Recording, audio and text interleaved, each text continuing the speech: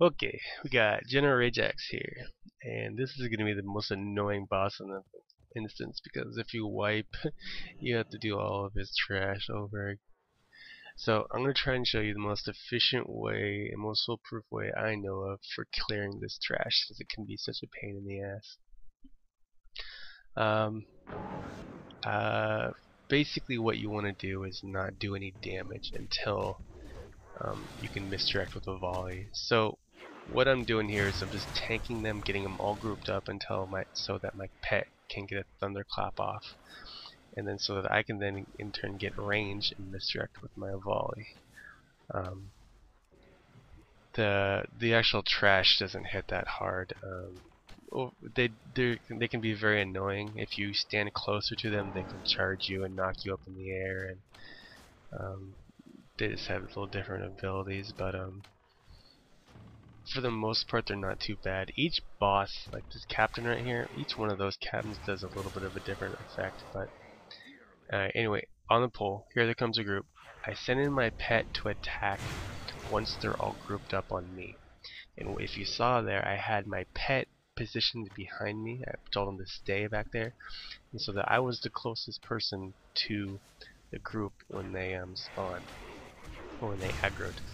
Um, so they should stay aggro to you, and then you just tell your pet, once they're all grouped up like that, you tell your pet to attack one of them in the middle of them. So he goes in there and thunderclaps right away, and takes all of them, and then you can then get range.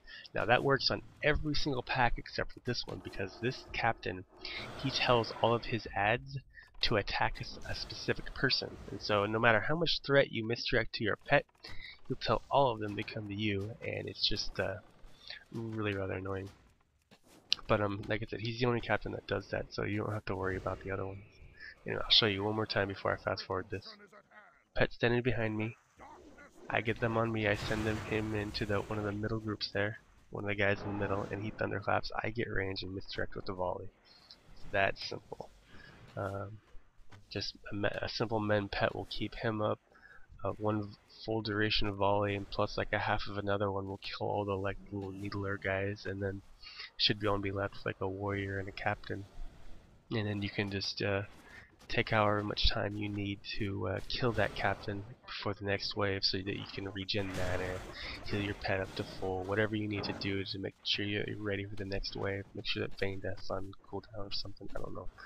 Um, but yeah, it's that's the way I've been doing it for a while now, and it seems to work uh, most of the time. I can't say that I've had too many problems with it, but um, sometimes they'll aggro to the NPCs behind me. Like there's the four NPCs and the guy, the General Barov, I think back there. I don't know what causes that, um, but it usually doesn't happen if you're um, if you get out far enough from them into this room. So um, yeah, don't really worry about it too much. But anyway, there's there's quite a bit of these groups as you can see here. Just trying to show you how my method works and let you kind of figure it out on your own. Alright, here comes the last group. Group them up on you, tell your pet to attack one, and then he thunderclaps and gets all the aggro on him. It works really good. You definitely want to choose a turtle pet for this guy. Alright, this is the last boss uh, captain here.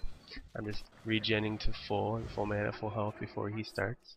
Now I do use Aspect of the Wild for this fight, the nature resistance one, because he's got a a done that right there, that um, Thunder Stomp Crash, I don't know what it's called, but it knocks you back, and when he does that, you drop aggro, your pet drops aggro. It's a whole new aggro table. So um, you want to save misdirect for that crash if you can. Like never use misdirect like after aggro is already established.